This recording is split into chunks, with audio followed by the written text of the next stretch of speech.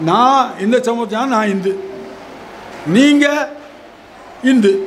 அவர் பட்டியல் குல மக்கள் அவர் இந்து. எல்லாரும் இந்துன்னு சொல்லியில்ல சொல்றியா இல்லையா? எல்லாரும் இந்துன்னு தானே சொல்கிறேன் அப்புறம் ஏன்டா என்ன கோவிலுக்குள்ள விட மாட்டேங்க? அப்படி எப்படிடா கடவுள்? அது கடவுளுக்கே இழுகு இல்லையா? அது மானகட்டம் இல்லையா? அவனை செருப்பால் அடிக்கணுமா இல்லையா? அது எப்படி நியாயம்? இந்த காவி கும்பல் இந்த ஜனாதன கும்பல் நான்லாம் இந்தி இல்லையாடா? பிற்படுத்தப்பட்டவெல்லாம் இந்தி இல்லையா? என் நாயே? என்னைக்காவது இந்த மக்கள் மாதிரி பேசுகிறியாடா இந்த சமயத்தை பற்றி பேச இந்த கடவுளை பற்றி பேசுகிறிய இந்த மக்களுக்கு இடஒதுக்கீடு கொடுக்கறதுக்கு ஏற்றா நீதான ரோட்டில் நின்ன? நீதான அந்த மக்களுக்கு தீ வச்ச?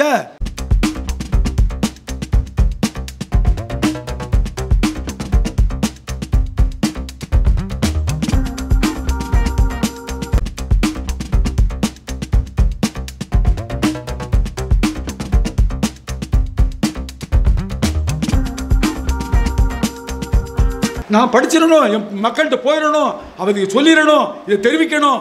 அந்த பொறுப்பு உணர்வு அர்ப்பணிப்பு சமூகத்தின் பற்று மானுட பற்று எல்லையில்லாத பற்று எல்லையில்லாத பற்று. அவரை கொச்சைப்படுத்தி தான் நம்ம நாட்டில் இங்கே உட்காந்து நாலு பார்ப்பான். இவ்வளோ அவரை அவரே சொல்லார் என்னை வந்து என் கருத்தளவில் என்னை நீ நீ முட்டாள்னு சொன்னால் நான் பெருமைப்படுவேன்னு சொல்லாரு பெரியாரே சொல்கிறார் என் கருத்து இது உன் கருத்து தவறு. இந்தந்த காரணங்களா உன் காரணம் சரியாகவும் இருக்கலாம் தவறாகவும் இருக்கலாம். But you can prove it நீங்கள் தெளிவாக சொல்லு. அப்படி சொன்னால் அவர் திரும்ப சொல்கிறாரு நான் இந்த சமூகத்துக்கு பயன்பட்டது மிகப்பெரிய ப வெற்றி கண்டேன் என்று நான் பொருள் கொள்வேங்க நான் சொன்னதை தப்புன்னு சொல்லி இவன் சொன்னது இவன் என்னடா அவன் கிரிக்க மாதிரி முட்டாள் மாதிரி அப்படின்னு ஒருத்தன் அறிவியல் பூர்வமாக நிறுவுறார்னா நான் அவருக்கு தலை வணங்குகிறேன். அப்படி சொன்ன பெரியார் அதுக்காக படிக்கிறார். படிப்பது மட்டுமல்ல இயங்குகிறார். நீங்கள் வண்டியில் போகிறாரு ட்ரெயினில் போகிறாரு அது மட்டும் அது அது. ஆனால் வண்டியில் போகும்போது இயக்கம் தான் அது? அந்த இயக்கம் தான் தொண்ணூத்தஞ்சு வயது வரைக்கும் அவர் வாழ்வதற்கு வழிவகுத்தது. ஆனால் நமக்கு நம்ம பிள்ளைகளுக்கு அந்த வழியெல்லாம் அடைச்சிட்டு படிப்பு படிப்பு படிப்பு. அதில் மதிப்பெண் மதிப்பெண் மதிப்பெண். அப்புறம் மருத்துவர் ஆஞ்சநேயர் இன்ஜினியர் எப்படியோ வக்கீல் சார்ட்டட் அக்கௌண்டன்ட்டு இதோடு நம்ம வாழ்க்கை. வேணும் இல்லைன்னா நான் சொல்லலை. அதுக்கெல்லாம் நான் அது கூடாதுன்னு நான் சொல்லுவேன் என் பொது வழியில் இப்போ நீ இவ்வளோ பேர் வந்தீங்கன்னா பொது வழியில் உங்களுடைய இயக்கம் இருக்குது. அந்த பொது வழியில் வந்ததுனாலே தான் நான் தோழர் என்கிறேன். வயது அது படிப்பு என்ன எல்லாத்தையும் தாண்டி ஒரு பொது செய்திக்காக நான் என் நேரத்துக்கு செலவிடுறது தயாராக இருக்கிறேன்னு சொன்னால் வயது கிடையாது. எல்லாரும் தோழமை தான். அது பெரியார் சொல்கிறார் தோழர்களே என்று சொல்கிறார் முப்பத்தி மூணில் வந்த உடனே முப்பத்தி ரெண்டில் முடிச்சுட்டு வந்த உடனே கம்யூனிஸ்ட் மேனிஃபெஸ்டோ தமிழ் படுத்துகிறாரு இந்தியா முழுக்க எவரும் பண்ணலைங்க அடிப்படையில் பெரியார் ஒரு பொது உடைமைவாதி. அவர் பொது உடைமைவாதி தான் கொள்கையால் நடவடிக்கையால் செயல்பாடுகளால் முழுக்க முழுக்க அவர் பொது உடைமைவாதி. ஆனால் பொது உடைமை கத்துக்களை வச்சு வரல வரல சொல்லலை அவர். இந்த பொது உடைமைக்கு தடையாக இருக்கக்கூடிய சமூக அமைப்பு இந்த கல்வி அமைப்பு ஒரு ஊரில் ஒரு கோவில் இருக்குன்னா அதை சுற்றி சுற்றி பிரகாரம் அதில் இருக்க பூரா பார்ப்பான். நீங்கள் ஊரை கிராமப்புறங்களை போய் பாருங்கள் எப்படி அமைச்சிருக்காம அப்போ எவ்வளோ கட்டுக்கோப்பா இவன் இவன் கீழ் சாதி அப்படி சொல்லுறதுக்கு சொல்லி எழுதி வச்சா போதாது. வாழ்க்கை நடைமுறையில் அவ்வளவு தெளிவாக அப்படி கட்டுக்கோப்பாக கட்டி கோவிலை சுற்றி பார்க்க பசு மத்தனை பாப்பான் தான் இருப்பான். அதுக்கு அடுத்த வயசேவன் இருப்பான். அதுக்கு அடுத்தவன் இன்னும் இன்னொரு ஒரு சக்தியாக இருப்பான். ரெண்டாவது சக்தி மூணாவது வயசியாக இருப்பான். நாலாவது ஊரை தள்ளி அந்த தெருவில் இன்னைக்கும் கிராமப்புறங்கள் போய் தயவு செய்து நீங்கள் பாருங்கள் நல்லா பாரு. அதில் எழுதி எழுதில் இருக்கும். அதில் ஆதரவாளர் இருப்பான் பிற்படுத்தப்பட்டவர் இருப்பான் எல்லாம். அவன் யார்? அவனும் இந்து தானே? உங்களுடைய இந்து மத சட்டப்படி இந்து மத கருத்துப்படி நான் இந்த சமூகத்தான் நான் இந்து. நீங்கள் இந்து. அவர் பட்டியல் குல மக்கள் அவர் இந்து. எல்லாரும் இந்துன்னு சொல்லியில்ல சொல்றியா இல்லையா? எல்லாரும் இந்துன்னு தானே சொல்கிறேன் அப்புறம் ஏன்டா என்னை கோவிலுக்குள்ள விட மாட்டேங்க? அப்படி எப்படா கடவுள்? அது கடவுளுக்கே இழுது இல்லையா? அது மானகட்டம் முடியாது அவனை செருப்பால் அடிக்கணுமா இல்லையா? அது எப்படி நியாயம்? அது எப்படி திரும்ப திரும்ப சொல் அதனால தான் செருப்பால் அடித்தார் என்னடா நான் ஒன்றும் அடிக்க மாட்டேன். நான் சொல்லுவது தப்புனா என்ன அடிச்சு என்ன பையன்? ஏப்பா நீ சொல்லுவது தப்பா திருத்திக்கோன்னு நான் சொல்லுவேன். என் மக்கள் மேல் எனக்கு கோபம் இல்லை. என் மக்களை இப்படி மடையர்களாக ஆக்கி இந்த சமூகத்தின் மேலும் இந்த சமூக அமைப்பின் மேலும் இந்த சமூக அமைப்பை கட்டி காக்கக்கூடிய மதத்தின் மேலும் இந்த மதத்தை தூக்கிப்பிடிய கடவுள் மேலும் என்னுடைய என்னுடைய வெறுப்பை என்னுடைய வெறுப்பு வெறுப்பு தான் கலகந்த மொட்டை. என் மக்களுக்கு விடுதலைனா எதுக்கிடாது அது? தூக்கி எறி. அந்த தன்மையிலே எல்லாம் சொல்லுவார் பெரியார். அது மாதிரி தான் அவர் பொது உடைமை அணுகினார். இங்கே இருக்க பொது உடைமைவாதியாக இருக்கக்கூடிய பார்ப்பனர்கள் சொல்கிற மாதிரி பொது உடைமை அணுகலை. வெறும் சம்பளம் வாங்கி கொடுக்கறது மாத்திரம் அல்ல. அது அல்ல. சமூக விடுதலை வேண்டாம் அவருக்கு. ஐயா அதை குறிப்பிட்டு சொன்னாங்க. தோழர் வந்தியத்தேவன் நம்ம கான்ஸ்டியூஷன் அமெண்ட்மெண்ட் பற்றி கான்ஸ்டியூஷன் அப்படின்னா என்ன புரிஞ்சுருக்கோம் நம்ம? நான் தெரிந்த அளவுக்குங்க எம்ஏ படிச்சுட்டு வராரு. என் பையன் ஐஏஎஸ் கோச்சிங் இன்ஸ்டியூட் வச்சுருக்கான். அவர்கிட்ட கேட்குறோம் நான் வகுப்பு எடுப்பேன். அப் கான்ஸ்டியூஷன் சே சோ அப்படின்னு சொல்லி பேசுனோம்னா அப்படின்னா கான்ஸ்டியூஷனாக என்ன? அவருக்கு தெரியல. கான்ஸ்டியூஷனாக தெரியும் அரசு அமைப்பு சட்டம். அரசியல் அமைப்பு சட்டம் அல்ல. அரசியல் சாசனம் அல்ல. அரசியலுக்கு அரசியலுக்கு சாதனம் அரசியல் இது ஒரு பொருள். ஆனால் அரசு என்பது ஒரு த- ஒரு நிறுவனம். இந்த அரசு எப்படி இருக்கணும்? அதை பூரா அது சொல்லும். அதுக்குள்ளே இருக்கும் முன்னூத்தந்து முன்னூற்றி தொண்ணூத்தைந்து பிரிவுகள் இருக்கு. முந்நூற்றைந்து தொண்ணூத் முந்நூற்றி தொண்ணூத்தைந்து பிரிவுகளும் இந்த அரசு என்பது எப்படி இயங்கும் அப்படின்னு சொல்லும். அதுக்கு சொல்கிறதுனால தான் அது அரசு அமைப்பு சட்டம். அந்த சட்டத்தை ஏற்றிட்டாங்க. ஐம்பதில் ஏற்றாங்க நாற்பத்தி ஆறில் அம்பேத்கர் பேசி சொல்லி இவரை தலைவராக போட்டு கொடுத்துட்டாங்க அப்போ இருந்து நல்லா கவனிக்கணும். பெரியார் ஒருத்தர் தான் இந்த இந்தியா முழுக்க இது மிகப்பெரிய கேடு. இது மக்கள் மேல் கட்டவிழ்த்தப்பட்டப்படுகின்ற வன்முறை. மக்களுக்கு எதிரானது ஆன்டி பீப்புள் மொத்தத்துக்கும் திரும்ப திரும்ப சொல்கிறார் ஒருத்தன் பேசலை. அம்பேத்கர் செய்கிறது சரி. அது சில கட்டுக்கோப்பான நிலையில் ஒரு அரசு ஒரு இயந்திரம் அதுக்கு வேணும் அப்படின்னு செய்கிறார் அதெல்லாம் நான் ஒத்துடுறேன் ஆனால் இது யாரால் இயற்றப்படுகிறது? இந்த சட்டம் யாரால் இயற்றப்படுகிறது?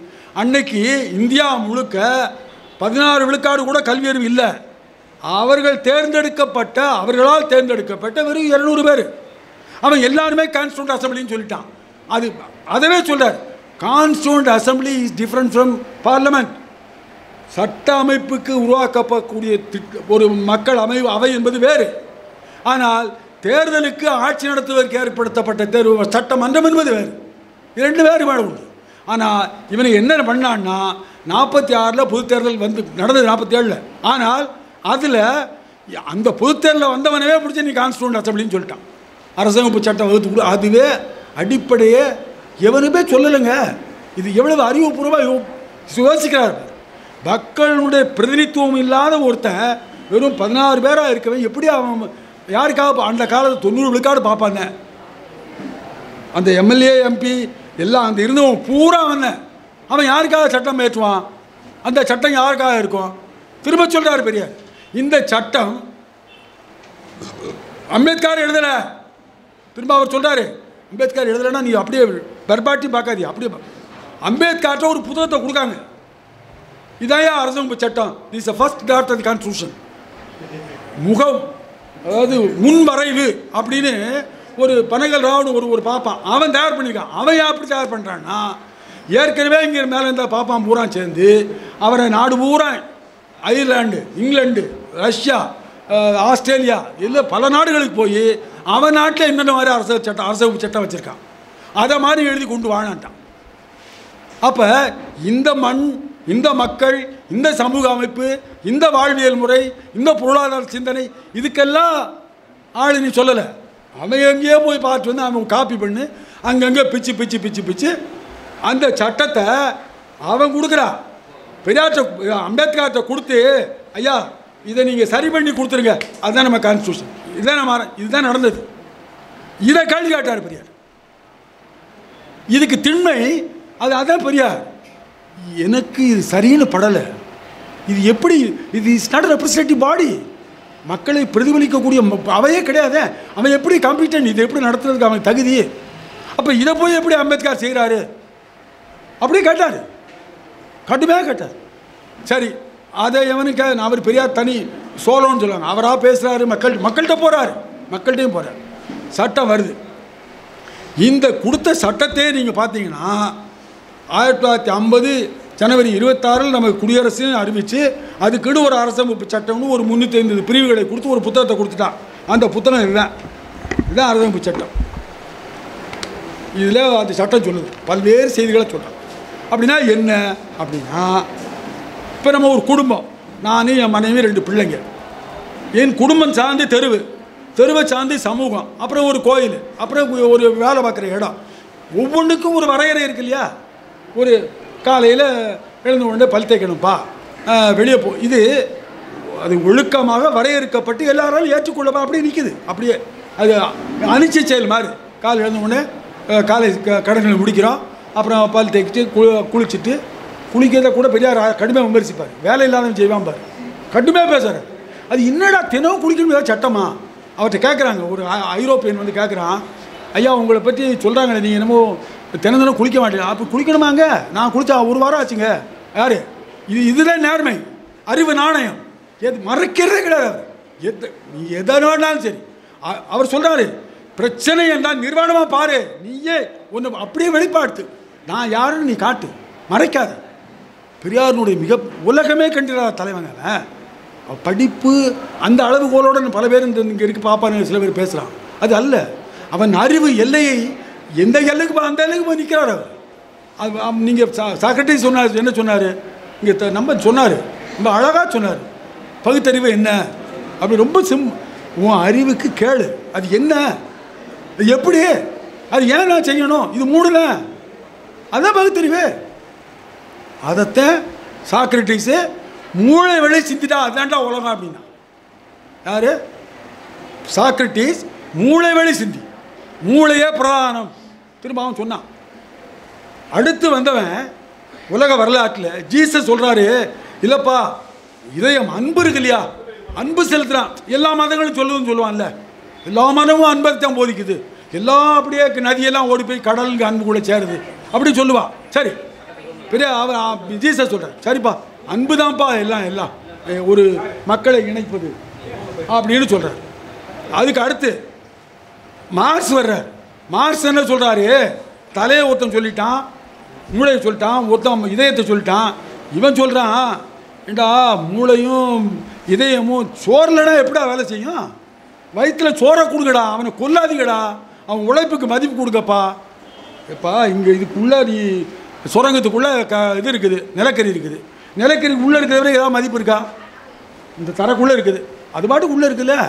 அப்போ இந்த மனிதன் நூறு பேர் ஆயிரம் பேர் குழி தோண்டி நூறு அடி ரெண்டு அடி இரநூறு அடி ஒரு கிலோமீட்டர்லாம் போகிறான் அதை எல்லாம் ஒட்டச்சி எடுத்து அந்த நிலக்கரியை அள்ளி நூறு பேரும் தலையில் தூக்கணும் வெளியே கொண்டு வந்து ட்ரெயினில் ஓட்டலாம் பாருங்க.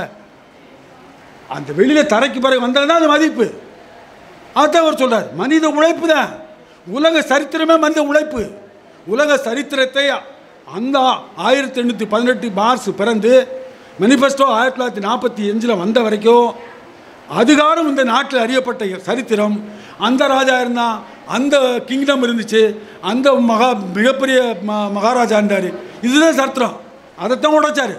மக்கள் உழைப்பு தான் சரித்திரம். மக்கள் உழைப்பு அவனுடைய உற்பத்தி அந்த உற்பத்தி வருகிற பல்வேறு பரிமாணங்கள். அதுதான் சரித்திரம். அதை ஒட்டி தான் எல்லா நகரும்.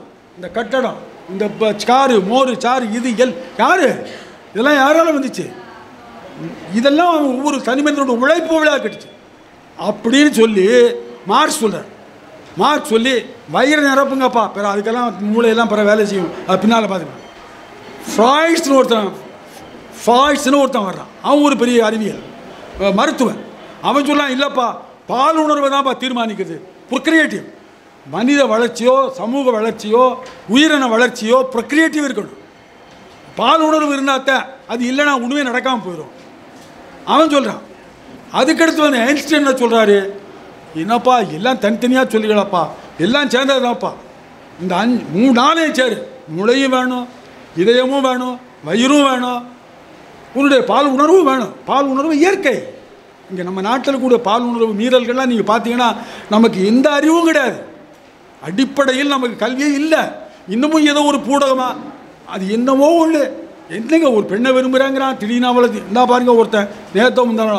அந்த அம்மா ரெண்டு குழந்தை இருக்குது. இந்த முட்டாள் ஏதோ அவன் கேட்டானா அவளை போய் தீய வச்சிருக்கான். இது என்ன பால் உணர்வு? ஏண்டா உனக்கு அப்போ இது நான் அவனை குறை சொல்வதாக நினைக்காதீங்க. இந்த பாலுணர்வு பற்றிய பார்வை இதை பற்றிய கல்வி இதை பற்றிய புரிதல் எதுவுமே நம்மகிட்ட கிடையாது. அதை ஒரு பெரிய ரகசியம் பண்ணி மக்களை அது ஒரு அதை மாதிரியே சொல்லி அதே மாதிரி ஃப்ராய்ட் சொன்னார். இதெல்லாம் தாண்டி இவருக்கு எல்லாம் அஞ்சும் அது இந்த நாலும் சேர்ந்ததாப்பா வாழ்க்கை. இந்த நாலும் தேவை.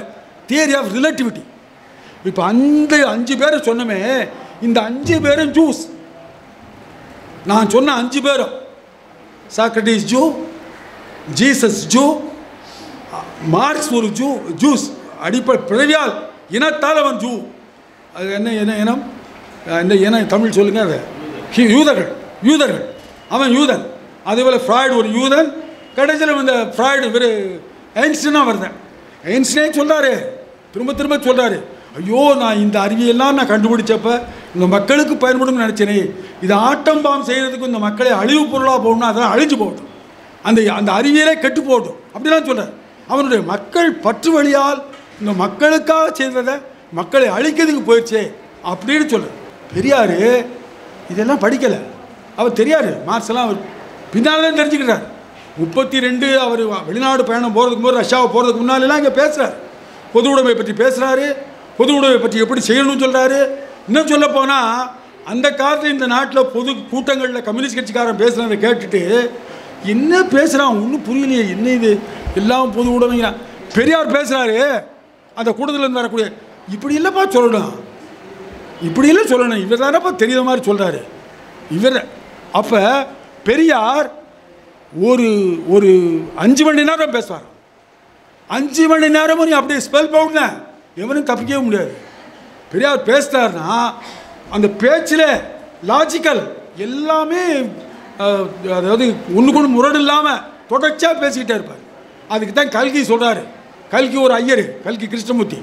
அவர் சொல்லாரு பெரியார் பேச்சு கூட போயிருக்க எப்பா நான் அவன்கிட்ட வா- அந்த ஆள்கிட்ட வரலாம்ப்பா. அவன் விட்டவே மாட்டான் நம்மளுக்கு அஞ்சு மணி நேரம் நம்ம அப்படியே நிப்பாட்டிடுவார்.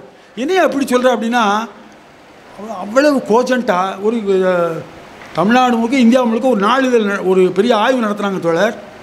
எழுத்தில் யார் யாரோ பெருசாங்க பேசுனதில் பெரியாரை போல் மக்களை கேட்கும் மக்களை அப்படியே வயந்த ஒரு மனிதன் அவனை மாதிரி யாருமே கிடையாது. ஒரு வினாடி கூட அங்கங்கே போக விட மாட்டார். அப்படியே கொண்டு போவார். அப்படி வந்தவர்கள் இந்த சமூகத்தில் எனக்கு தெரிய பத்த பல நூற்றுக்கணக்கான பேர்கள் அவர் கூட்டத்தில் அஞ் பத்தாவது படிச்சுக்க மாணவன் போய் உட்காந்துட்டு எங்கள் தோழர் ஒருத்தர் சொல்கிறார் அவர் அவர் கொட்டை கிட்டை எல்லாம் போட்டு பட்டையெல்லாம் போய் நின்று போய் பெரியாரை கேட்குறாரு என்னடா இப்படி சொல்கிறான் ஒன்றும் இல்லைங்கிறான் எல்லாத்தையும் அடிக்கிறாரா? நொறுக்கிறாரா? வீட்டுக்கு போனோன்னு எல்லாத்தையும் குளிச்சுட்டு எல்லாத்தையும் தூக்கி போட்டார். அவள் ஐயா அடிக்க வர்றாரு. ஏடா என்னடா நீ வாட்டி என்ன தேவாரம் திருவாசகம் பார்த்துக்கிட்டு ஏ போயா உன் தீவாரம் தீய மக்களுக்கு இல்லைடா அப்படின்னு யார்? எங்கள் வரகூருக்கு. அவர் வரகூர் அவர் பேர் என்ன சொல்ல? நாராயணசாமி அவர் சொல்ற அவர் எழுதுகிறாருங்க பெரியார் பேசுனதில் எழுதினதை ஒரு பக்கம் விடுங்க. அந் அந்த அளவுக்கு வயக்கக்கூடிய தன்மையில் எந்த செய்தியும் சரி எவ்வளவு கடுமையான செய்தியை நம்ம கருதுகிறோமோ அவ்வளவு எளிமையாக கொடுத்தார். அப்போ இந்த கம்யூனிகேஷன் ஸ்கில்லுன்னு இப்போ இந்த பிள்ளைகளுக்கெல்லாம் சொல்லிக் கொடுப்பாங்க. பள்ளிக்கூடத்தில் நடக்குதா இல்லையா? கம்யூனிகேஷன் ஸ்கில் நீ என்ன நினைக்கிறியோ அதை சொல்வது எப்படி? அதை எழுதுவது எப்படி? அதை ஒரு பாடமாக ஒரு ஒரு பரீட்சை தேர்வு எழுதுவது இதெல்லாம் கம்யூனிகேஷன் ஸ்கில்னு சொல்கிறோம் ஆனால் பெரியார் அவ்வளவு தெளிவாக சொல்கிறார் அவருக்கு மூ நம்ம பாட்டை வள்ளுவர் ரொம்ப தெளிவாக சொல்லிட்டான். ரொம்ப ரொம்ப வெறும் ஏழு சொற்கள். ஏழே சொற்கள். ஏழு சொற்கள் ஒவ்வொன்றுக்கும் ஒரு ஒரு குறளுக்கு நூறு பக்கம் உரை எழுதலாம். ஒவ்வொரு சொல்லுக்கும். தேவநாயக பாணர் அப்படி சொல்கிறாரு தேவநாய பாணர் தமிழனுடைய பெருமையை சொல்லும் பொழுது ஆ இந்த ஆங்க ஒலி வருது இல்லையா? தமிழ் எழுத்து. நூற்றி எண்பத்தி ரெண்டு பக்கம் எழுதியிருக்காரு. இந்த ஆ எழுத்து எப்படி உருவாச்சு? ஆங்க சொல்லு எப்படி உருவாச்சு? ஒலி. ஒலியை பற்றி நூறு பக்கம் எழுதுறாரு. அந்த எழுத்து எப்படி உருவாச்சு? அவ்வளவு தொன்மையான மொழியாக்கும். நம்ம மொழி. ஆனால் இன்றைக்கி நம்ம தமிழ் பாடமே இல்லாமல் தமிழ் பாடமே படிக்க தமிழில் படிக்கணும்னு நான் சொல்லலை. மொழி பாடம் தமிழ் பாடமே படிக்காமல் இந்த நாட்டில் உற்பத்தி ஆகக்கூடிய கல்வியாளர் கல்வி படிக்க மக்கள் நூற்றுக்கு முன்னாடி தமிழே இல்லாமல் வர்றாரே. பிகாமில் அந்த காலத்திலே தமிழ் கிடையாதுன்னு எடுத்துட்டாங்க இப்போ இங்கே இன்ஜினியரிங் காலேஜ் பூரா பாடம் இங்~ இங்கிலீஷ் பாடம் ஒரு பாடமே கிடையாது. ஒரு மொழி பாடமே இல்லை. அரசியல் வரலாறு மொழி இது மூணு நாளில் எப்படி அவன் மனுஷன்? நகையும் இவ எலும்பும் சதையும் சேர்ந்ததான மனிதன். அந்த உணர்ச்சி எங்கேருந்து வரும்? இலக்கியம் அல்லாமல் இலக்கியம் இல்லாமல் மொழி இல்லாமல் ஒன்றும் கிடையாது. ஒன்றுமே கிடையாது. அரசு வகுப்பு சட்டம் வந்துருச்சு. இப்போ தோழர் காலையில் சொன்னாங்க. சுயமரியாதை திருமணம் சட்டம் வெளியே வரும்பொழுது பெரியார்கிட்ட போய் கேட்டு வாப்பா. அவர் சமூகத்தை படித்தவர் நம்மளாம் புத்தகத்தை ஏதோ பார்த்துட்டு அவன் பெரிய அறிவாளி அவன் சொல்லிக்கிட்டு நீ பாட்டுக்கு எழுதுறான். அவர் சமூகத்தை பார்த்துக்கிட்டே ஓடிக்கிட்டு இருக்காரு. அவர்கிட்ட கொடுப்போம். அப்படின்னு கொடுத்து கே கேட்டாங்க இல்லையா? இப்போ அவர் சொன்னார்ல கல்யாணம் பண்ணணும்னா என்ன? அதை அந்த கல்லை சுற்றி தீயை சுற்றி மூணு சுற்றணும் அப்புறம் காலை தூக்கி அடுப்பில் அந்த இதில் வச்சு அதில் இது போடணும். என்னென்ன இதெல்லாம் செய்தால் தான் கல்யாணம். அதாவது சட்டப்படி கல்யாணம். அது இல்லாமல் போனால் சட்டப்படி நீதிமன்றத்துக்கு போனால் தூக்கி சட்டம் கிடையாது இவங்க கல்யாணம் செல்லாதுன்னு அப்படி எத்தனையோ கல்யாணம் செல்லாமல் போயிருக்கு. இதை பார்த்த பெரியார் இந்த தாலி ஒன்று என்கிறத எப்படி பார்த்தாருன்னா அது ஒரு இழிவு. சமூக இழிவுக்கு பார்க்குறாருங்க. அது எப்படி அவன்? நீ ஆண்க ஒரு பாலினம் நீ எப்படி வேணாலும் ஒழுங்கு இல்லாமல் ஒரு முறை இல்லாமல் எந்த வரையறையும் இல்லாமல் வாழ்வ. ஆனால் உன் தங்கை உன் தமக்கை உன் தாய் அவள்லாம் அப்படியே அந்த தாலியை கட்டி அவன் இவனுக்கு கல்யாணம் புருஷன் கடவுள் என்னத்தையோ உன்னை சொல்கிறான் அதை அவர் கட்டுமே பெண்ணை இந்த மனு தர்மம் மனு சட்டம் பெண்ணை ஒரு பொருள் என்கிறது. பொருள். பொருள்னா என்ன? ஃபோன் பேசுகிறான் தூக்கி எறிஞ்சிடுறான். சாப்பிட்றான் தூக்கி போட்டுடுறான். அதுபோல் ஒரு நகமும் ஐ மீன் சதையும் எலும்புமாகவும் தன் ஒத்த நம்மை ஒத்த ஒரு என் தாய் என் தமக்கை என் மனைவி என் மக்கள் அது ஒரு பொருள். நீ பயன்படுத்திட்டு போட்டு. அது அவரால் சகிக்கவே முடியலை. அது என் என் போன்ற ஒத்த ஒரு உயிரினத்தை நான் எப்படி அப்படி சொல்லுறது அப்புறம் என்ன அதை போய் கட்டி வச்சுக்கிட்டு அவளை நீ அடிமையாக்குறது? அதுதான் அவருக்கு மேலே வந்துச்சு. அது பளிச்சுன்னு படுது டே என்னடா இவன் திரும்பவும் அந்த தாலியை கட்டி அவரை அடிமை அதை எடுறா? அவன் விருப்பப்பட்டா கட்டி போகிறான் அது அவர் தான் சொல்லுவார். தெரிஞ்சு சொன்னமே. நான் சொல்கிறேன் சரினா எடுத்துக்கோங்க. இல்லாட்டி தூக்கி வெளியே போயிட்டே அவன் முட்டா போய் சொல்கிறான்னு சொல்லிட்டு. அதை பற்றி அவர் கவலையே படாம. அதே மாதிரி அது ரெண்டையும் கொடுக்காரு. மாலையும் மாலையும் தாலியும்னதை மாலை அல்லது தாலின்னு மாற்றி கொடுத்தாருன்னு தோழர் சொன்னார். அதே போல் நம்ம அரசமை சட்டம் வந்த உடனே பதினாறு நாலு முந்நூற்றி தொண்ணூத்தஞ்சு பிரிவுகள் அதில் முந்நூற்றி தொண்ணூத்தஞ்சு பிரிவுகளில் பதினாறு நாலு என்ன சொல்லுதுன்னா நதிங் இன் திஸ் ஆர்டிக்கிள் கவனிங்க nothing in this shall prevent the state from considering nothing in the shall prevent the state from making any provision any provision mind நல்லா கவனிங்க any provision you make any provision for reservation in matters of promotion and in matters of in favor of any backward classes of citizens any backward class of citizens இதுதான் நம்ம சட்டத்தில் இருக்குது which in the opinion of the state is not adequately represented by the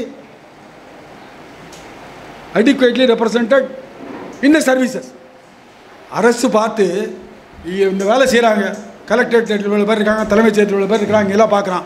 இல்லை எல்லாரும் பாப்பானே இருக்கானே. இந்த நாட்டில் வேறு சமூகமே இல்லையா? அப்போ அவனுக்கு அவனுக்கு பிரதிநிதித்துவம் கிடையாதா?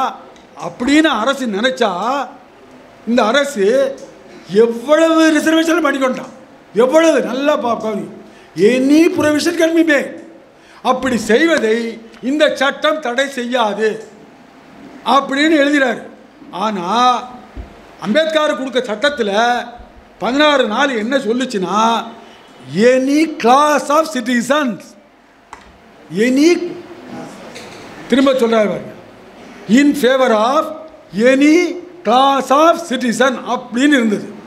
அப்போ அம்பேத்கர் தான் அதை ஒட்டாச்சு அப்படி இல்லைப்பா any backward class of citizen any backward class அவர் சொல்ல நல்லா கவனிங்க பேக்வர்ட் கிளாஸ்கிறார் ஹீ இஸ் நோன் ஆஸ் அவர் எப்படி சொல்கிறோம் எஸ்சி தலைவர்.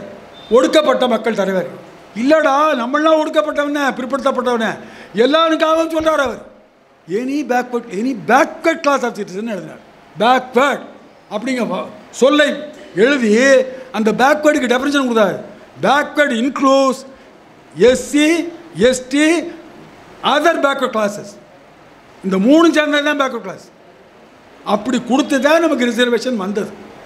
நமக்கு ரிசர்வேஷன் தமிழ்நாட்டில் அதாவது அறுபத்தி ஏழுக்கு முன்னால் அறுபத்தி ஏழுக்கு முன்னால் சர்வீஸ் கமிஷன் கொடுத்த தோழர் கூட சொன்னாங்க. மதிப்பெண் எப்படி கொடுத்தாங்க தேர்வுக்கு எப்படி மதிப்பெண் கொடுத்தாங்க அந்த நேர்முக பேட்டிக்கு எப்படி நேரானல் எவ்வளோ அதையெல்லாம் அம்பேத்கர் பெரியார் சொல்லி காலப்பரச்சு எல்லாம் தலைகளை மாற்றினார் நிறைய மதிப்பெண் கொடுத்தாரு. ஏன்னா நம்மளாலும் பதில் சொல்ல தெரியாது. அவன் இங்கிலீஷில் கேட்பான். ஐயோ ஒன்றும் தெரியலன்னா அவன் இப்போ இருபது மார்க்கில் அஞ்சு மார்க் கொடுக்க தரமாட்டான். நூறு மார்க் கொடுத்தா அதில் எண்பது மார்க் போடுறான். அறுபத்தி ஏழுலேருந்து எழுபத்தி ஏழில் கருணாநிதி வேலையை விட்டு தூக்குறது வரைக்கும் எழுபத்தாறு ஜூனில் எமர்ஜென்சி வருது இல்லையா? அந்த ஒன்பது ஆண்டுகளில் ஒரு பாப்பா கூட தமிழ்நாடு சர்வீஸ் சர்வீஸ் கமிஷனில் வரல. அம்பேத்கர் வந்து இந்த அரசமைப்பு சட்டத்தை அவர் கையில் கொடுத்தப்ப ஃபர்ஸ்ட் டிராஃப்டில் இந்த மாற்றம் செய்யாமல் விட்டுருந்தாருன்னு வச்சுக்கோங்க. ஆமாம் கிடச்சிருக்காது. ஆனால் இந்த மாற்றம் செய்து கொடுத்தார் இல்லையா?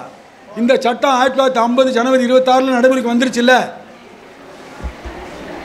தொண்ணூற்றி நாலு வரைக்கும் நாற்பத்தி நாலு ஆண்டுகள் சட்டத்தில் இருக்குங்க. கொடுக்கவே இல்லை. நமக்கு ஐஏஎஸ் தரல. நம்மளுடைய ஒதுக்கீடே தரல. பெரியார் பேசினாரு. எழுபத்தி மூணு வரைக்கும் பேசினாரு. ஆனால் தீர்வை கண்டுபிடிக்க முடியல அவரால். இதையெல்லாம் திட்டமிட்டு நாம் போய் தமிழ்நாட்டில் மாத்திரம் நம்ம பேசினா நடக்காது.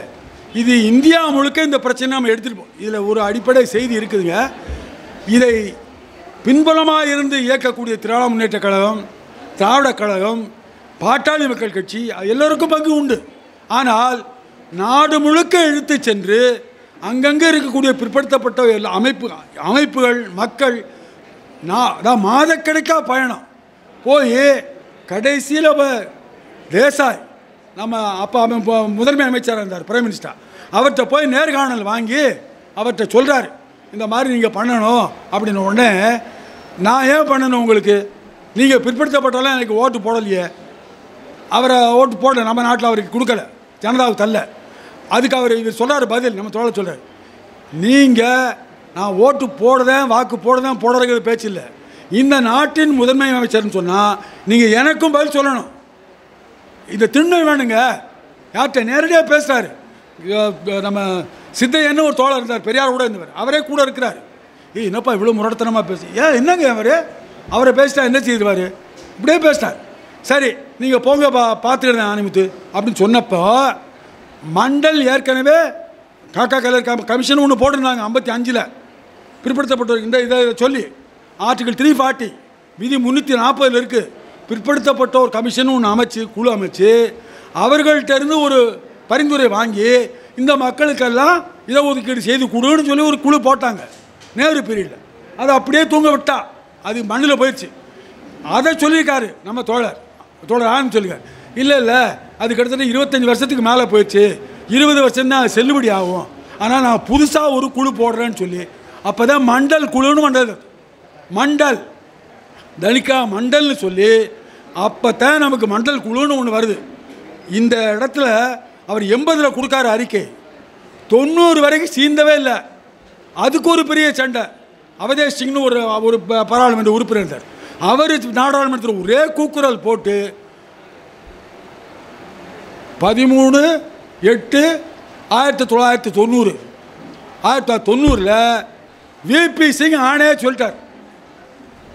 பா நாடாளுமன்றத்தை அறிவிச்சிட்டு பிற்படுத்தப்பட்டோருக்கு இருபத்தேழு விழுக்காடு வேலையில் இடம் உண்டு. ஒதுக்கீடு தரப்படுகிறது. அப்படின்னு போட்ட ஆணையங்க நல்லா கவனிங்க தோழர்களே இது எவ்வளவு பெரிய கொடூரமான வஞ்சகம் பாருங்க. அப்படி போட்ட சட்டத்தை இந்த உச்சி குடும்பி பாப்பர கூட்டம் உச்ச நீதிமன்றம் என்ற பெயரால் அதை நிறுத்தி வச்சிட்டாங்க. ஸ்டே பண்ணிட்டான். அதை ஸ்டே பண்ணது மாத்திரம் இல்லை. உத்தரப்பிரதேசத்துலேயும் பிற மாநிலங்கள்லையும் பிற்படுத்தப்பட்டவரே இதில் எதுக்காக எதிராக போராட வச்சு அவனை தீய வச்சுட்டாங்க. ஒருத்தன் தெருவில் ஓடிக்கிட்டே அவன் மேலே மண்ணெண்ணி ஊற்றியே வச்சுட்டான். அவன் வந்து மண்டல் குழுக்கு எதிராக வந்து ஆணுக்கு ஏற்றா எதிர்ப்பாக அவன் செய்கிறான் அப்படின்னு சொல்லி அவனை கொண்டானுங்க இந்த இந்த அரசமைப்பு சட்டப்படி செய்த சட்டத்துக்கு தொண்ணூறுலேருந்து தொண்ணூற்றி நாலு வரைக்கும் வழக்கு நடத்தி இந்த வழக்கை அவ்வளோ நாள் தள்ளி போய் தொண்ணூற்றி நாலில் தான் பிற்படுத்தப்பட்டோருக்கு இடஒதுக்கீடு நடைமுறைக்கு வந்தது. சட்டப்படி இருக்கிறத நம்ம கொடுக்கறதுக்கு இவ்வளவு சில்லுண்டி செய்த இந்த பார்ப்பன இந்து கும்பல் இந்த காவி கும்பல் இந்த ஜனாதன கும்பல் நான்லாம் இந்தி இல்லையாடா? பிற்படுத்தப்பட்டவெல்லாம் இந்தி இல்லையா? என் நாய என்னைக்காவது இந்த மக்கள் மாதிரி பேசுறியாடா? இந்து சமயத்தை பற்றி பேச இந்த கடவுளை பற்றி பேசுகிறிய இந்த மக்களுக்கு இடஒதுக்கீடு கொடுக்கறதுக்கு ஏற்றா நீதான ரோட்டில் நின்ன? நீதான அந்த மக்களுக்கு தீ வச்ச? நீதானே தானே இது, பீகார் வரைக்கும் ரா ராஜரதம் போனான் இதே அத்வானிங்க மண்டல் நடைமுறைப்படுத்தக்கூடாது. மண்டல் யாருக்கானது? நம்ம புரிஞ்சுக்கணுங்க. இவன் யார்? இவனுக்கு இந்துங்கிறது யார்? அவன் அடாவலைப்படுத்துகிற யார்? இந்துன்னு சொல்றது பாப்பான் தான். பாப்பா மட்டும்தான் அவனுக்கு இந்து. நாமெல்லாம் ஈனப்பைய தான் தேவடா பைய தான் தேவடா பிள்ளைய தான் அதான் பொருள் அப்படிதான் நம்ம காட்டினான் ஒரு அப்படி நடத்தியும் ஒரு வழியாக சண்டை போட்டு எப்படியோ கொடுத்தா உச்சநீதிமன்ற பாப்பான் என்னென்னத்தையோ செய்தான் விடுங்க. அது ஒரு பக்கம். அதை ஒன்று பேசுவோம் அப்புறம். இப்போ சென்ற பத்தொம்போதாவது ஆண்டு இறுதியில் இதே இந்த பாப்பர கூட்டம் பிஜேபி ஆர்எஸ்எஸ் கூட்டம் பத்து விழுக்காடு இட ஒதுக்கீடு தாராம். யாருக்கு? மேல் ஜாதியில் நலிந்தவர்கள் அவன் நலிந்தவர்களுக்கு என்ன டெஃபனிஷன் சொல்கிறான் அளவுகோல் என்ன? ஆண்டுக்கு எட்டு லட்சம் வருமானம். ஆனால் நம்மளை என்ன சொல்கிறான் உழைக்கும் மக்களாக இருக்கக்கூடிய தாழ்த்தப்பட்ட ஒடுக்கப்பட்ட மக்களான பிற்படுத்தப்பட்ட மக்கள் வெறும் நாளுக்கு முப்பத்தேழு ரூபா சம்பளம் வாங்கினா அவன் பாவட்டிலேருந்து மேலே போயிட்டானான் வறுமையிலேருந்து மேலே போனவன்? ஆனால் பார்ப்பேன் எட்டு லட்ச ரூபா. ஒரு மாதத்துக்கு அறுபத்தாறாயிரம் ரூபா சம்பளம் வாங்குறவன் ஏழை. அவனுக்கு பத்து விழுக்காடு கொடுத்தாங்க. சட்டத்தில் இல்லை. அவன் எந்த சட்டத்தை நாற்பத்தாறு சட்டம் சொல்லுது? விதி. அதை பயன்படுத்தி அதில் என்ன சொல்கிறான் இந்த நலிந்த பிரிவினாக இருக்கக்கூடிய மக்களை அப்படின்னு சொல்கிறான் அந்த நலிந்த பிரிவினாக சொல்கிற மக்களைன்னு சொல்லும்போது அவன் திரும்ப சொல்கிறான் அதில் ஒடுக்கப்பட்ட மக்களாக இருக்கக்கூடிய பழங்குடியினர் பட்டியல் வகுப்பினர்களை சோஷியல் ஜஸ்டிஸ் அவங்களுடைய சமூக நீதியை கெடுக்காமல் அதுக்கு பாதிப்பு வராமல் அவங்களுக்கு எல்லா வகையிலையும் உதவி செய்யுங்கப்பா. யார்? எஸ்சி எஸ்டி பிற்படுத்தப்பட்ட இவங்களுக்கு கொடுன்னு சொன்னதை அவனுக்கு ஊக்கம் கொடுப்பான்னு சொன்னதை இதுபடி நான் ரிசர்வேஷன் பண்ணுறேன்னு சொல்லி போட்டான். ரிசர்வேஷன் யாருக்கு? சோஷியலி எஜுகேஷன்லி பேக்வேர்ட் யார் சோஷியலி சமூகத்தால் இந்த தெருவில் வராத அந்த கோயிலுக்குள்ளே வராத. நீ தொடமாட்ட அவனை பார்க்க மாட்டேன் இப்படி சொல்ல சமூக இழிவை சுமந்த மக்களுக்கும் கல்வி மறுக்கப்பட்ட மக்களாக பிற்படுத்த பிற்படுத்தப்பட்ட மக்களுக்கும் அவர்களுக்கு ஏதாவது பாதிப்பு வராத அளவுக்கு அவங்களுக்கு நிறையா இந்த உதவியை கல்வியில் மேம்பாடு பொருளாதாரத்தில் மேம்பாடு செய்து கொடு திட்டம் போடுங்கிறான் கல்விக்கு நிறையா இவன் நம்ம பிஜேபி என்ன சொல்கிறான்னா இந்த நாற்பத்தாறை பயன்படுத்தி இதை இதில் சொல்கிறபடி நாங்கள் பத்து விழுக்காடு இட ஒதுக்கீடு தாரா. இந்த உச்சநீதிமன்றம் என்ன செய்துச்சு? ஒரு லூசு ஒரு தற்குறிப்பை கூட இந்த சட்டத்தை படித்தான்னா சொல்லிடுவான். இது ஆன்டி கான்ஸ்டியூஷன் தற்குறிப்பாய சார் ஒன்றுமே தெரியாது. இதை தமிழில் சொன்னால் எவனும் சு சிரிப்பான் இல்லை பானகட்டவனே உனக்கு சொல்லலையேடா நீ ஏன்டா பண்ணுங்க? ஆனால் உச்சநீதிமன்றம் போன நவம்பர் டிசம்பரில் வந்த ஆணையை அரசு ஆணையை இதுவரை கேள்வி கேட்குறாங்க மொத்தமாக போட்டுக்கிட்டே இருக்கான். அப்பாயின்மெண்ட் போட்டுக்கிட்டே இருக்கான் சார். எத்தனை அப்பாயின்மெண்ட் எல்லா யூனிவர்சிட்டிஸுக்கும் ஏதாவது பத்து லட்சம் கோடி கொடுத்துருக்கான் சார். ஒன்றரை லட்சம் ரெண்டு லட்சம். அதான் பள்ளிக்கூடத்தை மேம்படுத்துகிறான் அவனுக்கு இடம் கொடுக்குது. பத்து விழுக்காடு இதை தமிழ்நாடு நம்ம தான் இடஒதுக்கீட்டினுடைய முன்னோடிகள். இந்த நாட்டுக்கே நம்ம தான் அப்படின்னு சொல்லிக்கிட்டு இருக்க நம்ம இது எந்த கட்சியும் மாறுபாடு கிடையாது. எல்லாரும் இடஒதுக்கீடு வேணும்னு சொல்ல வந்தேன். ஒரு இந்த மயிர் அளவு எதிர்ப்பு தெரிவித்தோமா எதிர்ப்பு தெரிவிச்சிருக்கோமா? இந்த சட்டத்தை எரிச்சிருக்க வேண்டாமா? எரிச்சிருக்கணும்ல? ஏன்? அறுபத்தொம்பது விழுக்காடு நமக்கு உண்டு. மீதி முப்பத்தோரு விழுக்காடு எல்லாருக்கும் போகுது. ஆனால் அந்த முப்பத்தி ஒன்றில் பத்து விழுக்காடு நம்ம தானே போனோம் எஸ்சி உயர் மதிப்பெண் வாங்கினா அவர் போவார். பிசி உயர் மதிப்பெண் வாங்கினா அவர் போவார். அந்த பத்து விழுக்காடும் ஏழை அதாவது எட்டு லட்சம் வருமானம் வாங்குகிற பாப்பா மாத்திரம் போகிறதுக்கு எழுதி வச்சுட்டானே அப்போ என்ன பொருள்? அப்போ நம்ம எந்த உணர்ச்சியும் இல்லாமல் கிடையாது அர்த்தம். இது எல்லார் மேலும் குற்றம். எல்லாரும் எங்கள் அமைப்பு முதல் கூட சொல்கிறேன் நானும் என்னென்னவோ பேசி பார்த்தோம். எழுதிட்டு போகிறவங்க இது வேற. இயக்கமே இல்லையே. மூமெண்ட்டே இல்லை. ஒரு இப்போ சிஏ சொல்கிறான்ல அரசு குடியுரிமை திருத்த சட்டத்துக்கு எவ்வளோ பெரிய அது சரி. நூற்றுக்கு நூறு பல மடங்கு சரி. இந்த இடஒதுக்கீட்டுக்கு முன்னோடியாக இயங்கக்கூடிய இந்த நாடு இந்த தமிழ்நாடு தண்ணுக்குள் போட்ட கல் போல் எந்த எதிர்வினையும் மாத்தலையே. அப்போ இது ஒரு இழிவு அல்லவா? அப்படின்னா நம்ம எதுவுமே செய்யாமல் விட்டோம் முடிஞ்சு போச்சு. இப்போ நம்ம என்ன செய்ய போகிறோம் உச்சநீதிமன்றம் என்ன சொல்ல போகுது? கட்டாயம் அவனுக்கு தான் சொல்லுவான்ட்டான். ஹரிபரநாமன் ஒரு நம்ம நம்ம உயர்நீதிமன்ற நீதிபதி இருந்தார். அவர்கிட்ட போய் நான் பேசுகிறேன் என்னையா இப்படி அநியாயம் பண்ணியிருக்கான்? நீங்களாம் நான் ஒன்றும் செய்ய முடியாதியா? அவன் முப்பத்தி நாலு பேர் இருக்கான் உச்சநீதிமன்றத்தில் நீதிபதி. அந்த முப்பத்தி நாலு பேரில் முப்பத்தோரு பேர் பார்ப்பான். ஒரு ஆதரவிடம் கிடையாது. ஒரே ஒரு பிற்படுத்தப்பட்டவன் தான் இருக்கிறான். அவன் அவனைத்தான் காப்பாற்றுவான் உனக்கே நெத்தி வழிஞ்சா அவனுக்கு? வேர்த்து. அவன் செய்ய மாட்டான். யார்? அவர் ஒடுக்கப்பட்ட சமூகத்துலேருந்து வந்தவர். நானும் நீதிபதியா? என்னால் ஒன்றும் செய்ய முடியாது. அப்போ மக்கள் எதிர்வினை ஆற்றினால் ஒழிய மக்கள் மிக புரட்சிக்கு ஆளானால் ஒழிய வித்திட்டால் ஒழிய இதை வெல்லவே முடியாது. இது ஒரு பக்கம். நீங்கள் படிப்பு தரக்கூடாதுன்னு சொல்லி தோழர் காலையில் நிறையா சொன்னார். படிக்கிறதுக்குள்ளே வரக்கூடாது. படிப்பே கிடையாது. மனு சொல்கிறான் நீ படிக்கக்கூடாதுங்கிறான். இப்படி தான் சொல்லி வந்து சுதந்திரம்னு சொல்லி விடுதலை பெற்ற பிறகு நமக்கு இருக்க பள்ளிக்கூடத்தில் எப்படியெல்லாம் போவிடக்கூடாது இவனை படிக்க விடக்கூடாதுங்கிறதுக்காகவே கிண்டர் கார்டன் ஒன்று கொண்டு வந்து அது பலதரப்பட்ட கல்வி முறை ஆக்ஸ்போர்டு கேம்பிரிட்ஜு அப்புறம் சிபிஎஸ்சி சிஎஸ்சி இது மாதிரிலாம் வழியோடு கொண்டு வந்து ஒரே வளாகம் சார் ஒரு பள்ளிக்கூட வளாகம். கட்டடம் கட்டியிருக்கான். அதுக்குள்ளே ஹிண்டுக்காரன் எழுதுகிறான் அந்த பள்ளிக்கூட வளாகத்துக்குள்ளேயே ஒரு சிபிஎஸ்சி பள்ளிக்கூடம் ஒரு சிஎஸ்சி பள்ளிக்கூடம் ஒரு கட்டடம். இங்கிட்டு ஒரு மாநகராட்சி பள்ளிக்கூடத்து ப- அங்கே பள்ளிக்கூடத்துக்குள்ளே போகும்போதே ஹிண்டு எழுதுகிறான் அவெல்லாம் அந்த பையன் பையன் இவெல்லாம் என்ன இந்த தோழர் கூட சொன்னார் இவன் என்ன ஈனப்ப இவன் படிக்க பள்ளிக்கூடத்துக்காக நம்ம படிக்கிறோம். இவன் கூட படிக்கிறோம்? அப்படின்னு நினைக்கிறான். அப்போ அறுபத்தி மூணில் காமராஜ் ஐம்பத்தி மூணில் காமராஜ் வந்தப்போ அறுபத்தி மூணில் அவர் சொல்கிறாரு அறுபது ஐம்பத்தி மூணு அவர் சொல்கிறாரு பிள்ளைகளுக்குள்ள வேறுபாடு இருக்கக்கூடாதப்பா. இருக்கிறவன் இல்லாதவன் படித்தவங்களுக்கோ இந்த சமூகம் வந்து சார்ந்தவன் தெரியக்கூடாதுன்னு சொல்லிட்டு எல்லாருக்கும் சீரோட கொண்டு வந்தார் அவர். பள்ளிக்கூடத்துக்குள்ளே போகும்போது எல்லா பிள்ளைகளும் கருப்பு சட்டை அது காக்கி சட்டை வெள்ளை சட்டை ட்ரௌசர் இப்படி போட்டால் வேறுபாடு இருக்கு. அந்த வேறுபாடு இல்லாமல் தான் இருந்தது. நான் படிக்கிற காலமெல்லாம் எவனுமே ஜாதி ஜாதி இருந்தது. ஆனால் பள்ளிக்கூடத்துக்குள்ள மாணவர்கள் ஆனால் இன்றைக்கி பள்ளிக்கூடத்திற்குள் ஐஐடி கூட நடக்குது ஐஐஎம் கூட நடக்குது ஜவஹர்லால் நேரு நேரு யூனிவர்சிட்டிக்குள்ள வளாகத்து கல்வி வளாகத்துக்குள் ஜாதி பெயரால் ஒடுக்கப்பட்டவர்கள் என்று கொலை செய்கிறான் சார். இது என்ன வளர்ச்சி? அப்போ இதற்கெல்லாம் நாம் எதிர்வினை ஆற்றினால் ஒழிய நாம் கல்வி பெற்றவர்களாகவும் இருந்து விட முடியாது. இனிமேலும் பெறவிடவும் முடியாது. நம்மை வருகிற சமூகம் நாம் பழையபடி ரெண்டாயிரம் ஆண்டுக்கு முன்னால் எப்படி மறுக்கப்படும்? அதே தான் நம்ம புதிய கல்விக் கொள்கை சொன்னான்ல.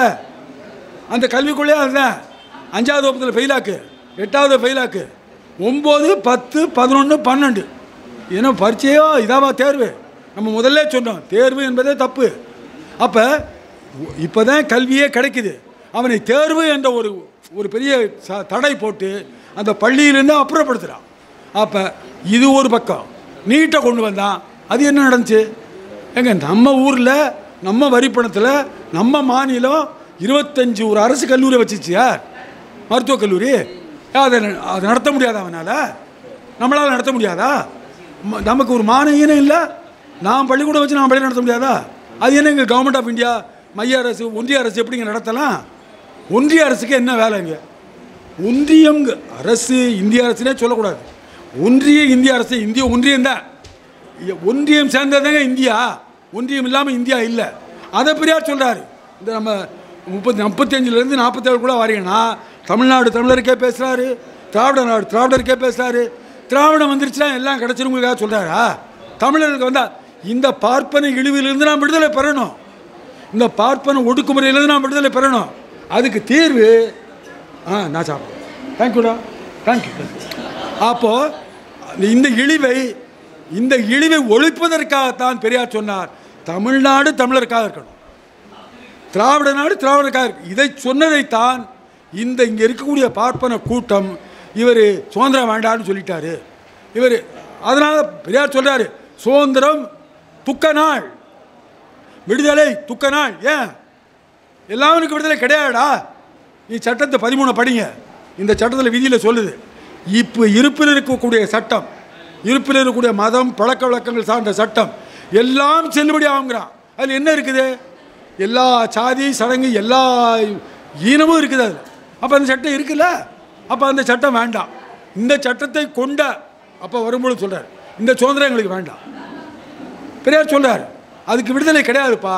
பாப்பா இந்த ஒடுக்குமுறையை எப்படி செய்தானோ இந்தியாங்க பேரில் விடுதலை ஐ மீன் வெள்ளைக்காரன் செய்தானோ அப்படியே மேடம் வரும்பார் அந்த பவரை பூரா அந்த அதிகாரத்தை பூரா பாப்பான் கையில் கொடுத்துட்டு போகிறான் அவன் எவ்வளோ ஒடுக்குமுறை பண்ணான் அதை காட்டிலும் மோசமான ஒடுக்குமுறை பண்ணுவான்.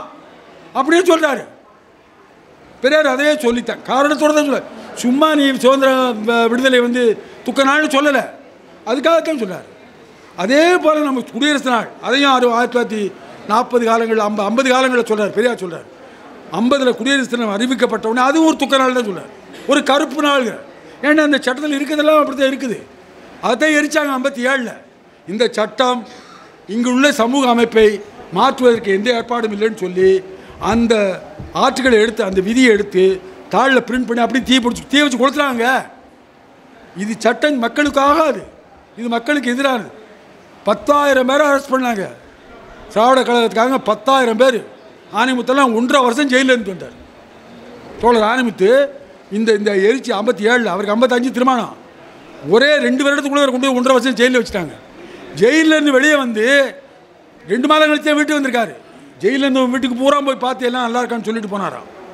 அவ்வளவு இந்த மக்கள் பற்று பெரியாருடைய எச்சம் பெரியாருடைய சிந்தனை பெரியாருடைய போக்கு பெரியாருடைய வழிமுறை இந்த மக்களை கவருகின்ற மக்களாக ஒரு சில தொண்டர்கள் தோழர்கள் பெரியார் ஆணைமுத்து ஆணைமுத்து போன்ற தோழர்கள் பல்வேறு தோழர்கள் பத்தாயிரம் பேர் இப்படியெல்லாம் கேடானது இந்த சட்டம் என்று இதை எரித்தார்.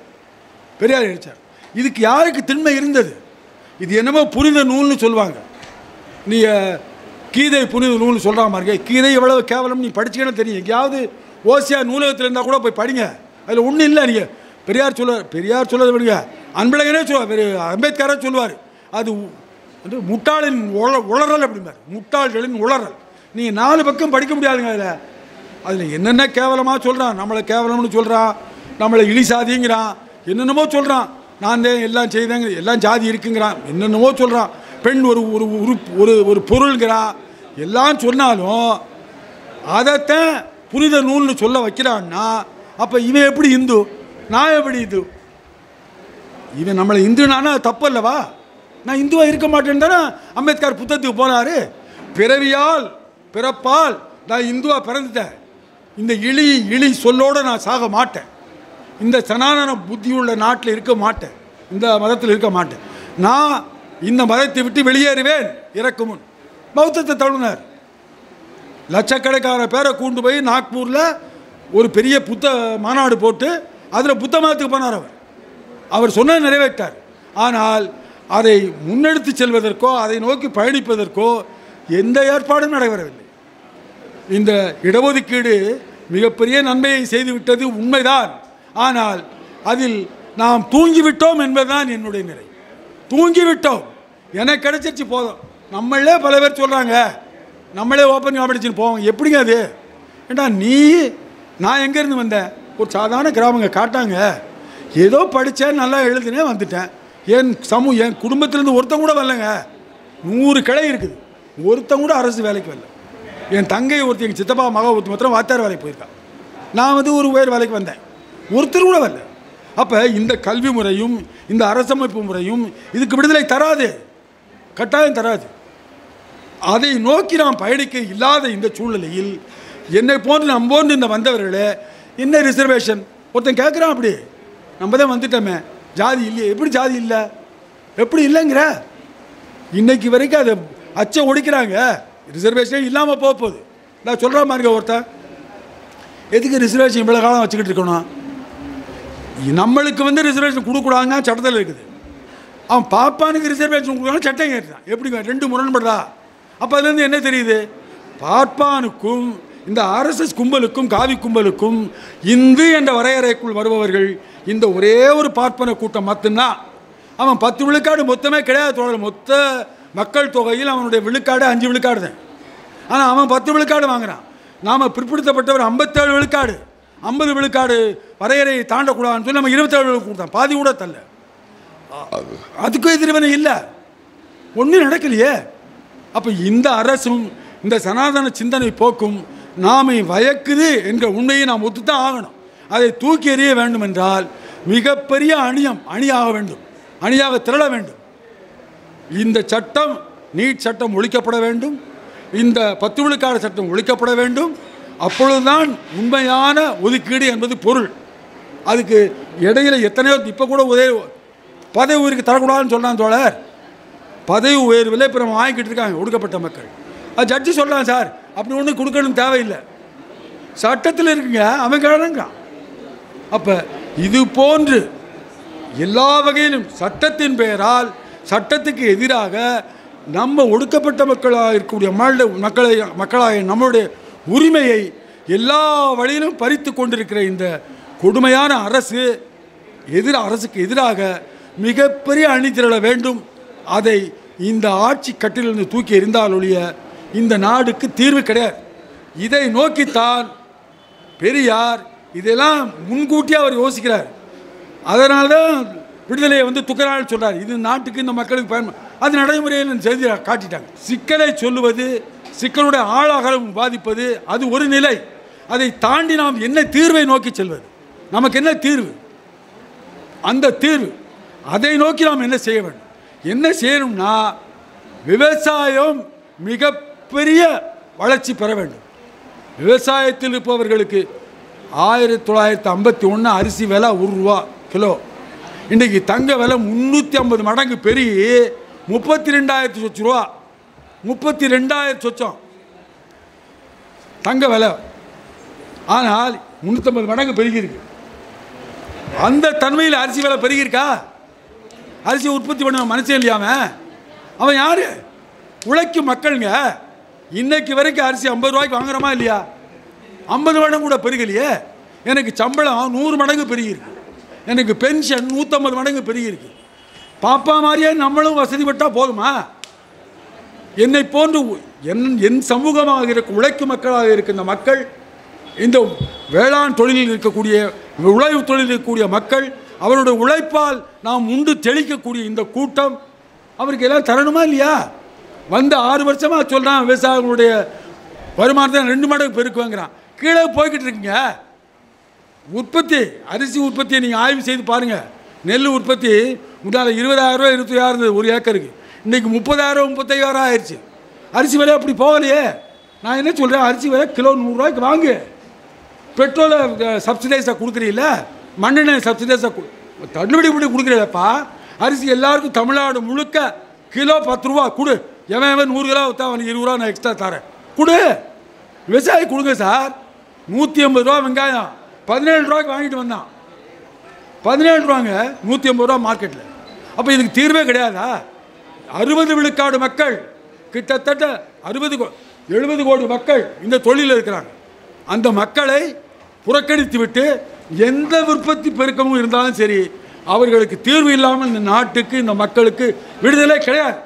அப்போ உழவு தொழிலை நெசவு தொழில் நெசவு தொழில் இன்னும் மோசம். காலைல அஞ்சு மணிக்கு ஓடினான்னா தகப்பேன் தாய் புள்ள நீங்கள் அதெல்லாம் போய் பார்த்தீங்கன்னா தெரியும். அந்த பாவு ஓட்டுறதை பார்த்தோம் கண்ணீர் திண்டனுங்க ஓடுங்க குழந்தை. நாலு வயசு நாலு படிக்கிற குழந்தை. ஓடி ஓடி. அஞ்சு ஏழரை மணிக்கு குளிச்சுட்டு பள்ளிக்கூடம் போகணும். இப்போ சாயங்காலம் வந்து அந்த பாவு தேய்க்கணும். அவங்க உழைப்பு கொடு க- கூலி கொடுக்குறோமா இல்லையே. அப்போ உழைக்கும் மக்களாக இருக்கக்கூடிய ஒடுக்கப்பட்ட மக்களுக்கு எல்லா வகையான பொருளாதார மேம்பாடு தராத வரையில் இந்த நாடு விடுதலை பெற்றது என்று சொல்வதற்கு அருகதே இல்லை. அதுக்கு நாமும் பொறுப்பாளிகள். அதை நாம் ஒழிக்க வேண்டும் என்றால் இந்த வெள்ளச்சட்டை கூட்டம் இந்த பேண்ட் போட்ட படித்த திருட்டு கூட்டம் நான் கருதுது. இவன் இந்த மக்களுக்காக முன்னெழுந்து போராடு ரிசர்வேஷன் அதெல்லாம் ஒரு பக்கம் இருக்கட்டும். அவர்களுக்கு உரிய மரியாதை மதிப்பு அவனுக்குரிய வாழ்வை நிச்சயப்படுத்த வேண்டிய பொறுப்பு அவர்களுக்கு இருப்பது என்பது உண்மை- என்பது உண்மை என்றாலும் நமக்கும் மிகப்பெரிய பொறுப்பு இருப்பது என்பதை உணர வேண்டும். மாணவர்கள் இந்த கருத்துக்களை சரியென்று ஏற்பதை கொள்ளுங்கள். இல்லை இதை இன்னும் செழுமைப்படுத்தலாம் இன்னும் மேம்படுத்தலாம் என்று கருதுவார்கள் என்றால் அவர்களுடைய திட்டமும் வகுக்கலாம். இது உங்களுடைய கையில் வயதானவன் என்ற தன்மையில் நான் ஒதுங்கி இருக்க முடியாது. உமர் முக்தர்னு ஒரு சினிமா வந்தது. Omar Mukhtar. அந்த ஆசிரியருக்கு அறுபத்தஞ்சு வயசு. அவன் ஒரு சின்ன நாடு வச்சிருப்பான். முசோலினி எல்லா நாடையும் முடிச்சுவான் விட மாட்டான். சின்ன நாடுங்க ரெண்டாவது உலக போரில். ஏன்டா இவன் ஒரு இந்த பையன் யார் அவன் அப்படின்னு கேட்குறான் அப்போ அவன் ஜென்ரல் சொல்கிறான் is a teacher is a teacher Avis old அவிஸ் ஓ அவங்க old is is just is sixty அறுபத்தஞ்சு கிழவனோட இந்த வேலை பண்ணுறான் அவன் தன் மக்களுக்காக அதாவது போராட்டம் நடத்தும் பொழுதெல்லாம் பயிற்சி கொடுக்குறான். கத்தி எப்படி விடுறது எந்த அம்பு எப்படி விடுறது சாயங்காலம் ஆன உடனே பிள்ளைகளுக்கு பள்ளி பள்ளி கல்வி கொடுக்குறான். அப்போ வயது ஒரு தடை அல்ல. உங்களோடு நான் தொடங்கி இருப்போம் உங்களோடு எல்லா காலமும் இறக்கும் இறுதி மூச்சு வரை. பெரியார் இருந்தார். பெரியார் வழியில் வந்த நாம் ஆணைமுத்து உள்பட எல்லோரும் இருந்து செயல்படுவோம். உங்கள் அணியில் உங்களுடைய பணியில் உங்களுடைய வழியில் நாங்கள் செயல்பட எல்லா வகையிலும் அணியமாய் உள்ளோம் என்பதை தெரிவித்துக் கொண்டு இப்பெரிய அரிய வாய்ப்பை அல்லிய சமூக சிந்தனை கூடத்திற்கு என் மனமார்ந்த மிகப்பெரிய நன்றியை உரித்தாக்கி விடைபெறுகிறேன். வணக்கம்.